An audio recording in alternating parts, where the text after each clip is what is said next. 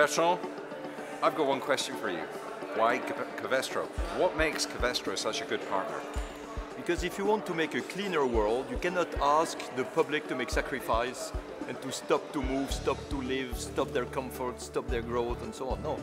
The only thing you can do is to bring better technologies that are more energy efficient, that are cleaner. And it's exactly what you do. It's exactly what you produce.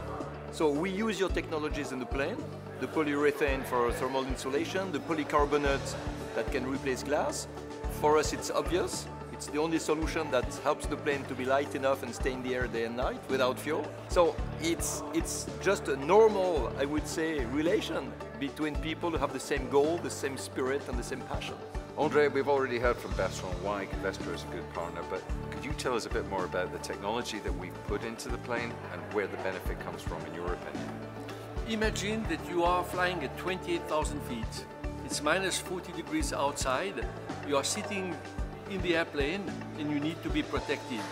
You want to have a passive protection and it has to be extremely light. We talk about a few kilograms. That's what we asked Covestro to do. That's what they did. So it's the materials and it's the engineering solution that Covestro found which made it uh, possible. But I think everybody at Covestro can be proud because, uh, uh, I mean, you guys, you fly with us, you are with us, you protect us, you made it possible.